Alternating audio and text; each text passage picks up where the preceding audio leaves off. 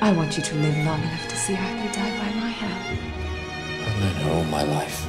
How could she do this to us?